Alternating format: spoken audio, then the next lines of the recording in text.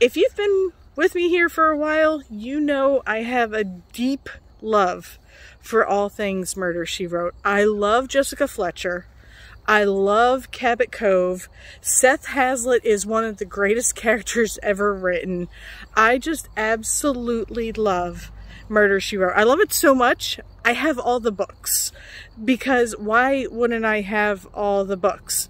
I just love how it's basically just like a comfy blanket but with murder. It's fantastic. And I just, I love it so, so much. So, like, if you're into the whole cozy mystery TV show thing, what's your favorite? Like, are you, are you into Franny Fisher? If you don't know Franny Fisher, oh, that woman. That, that's all I got to say. That's all I got to say. Um, do you like the baking mysteries? Like, what is your favorite go-to cozy mystery TV show? Let me know.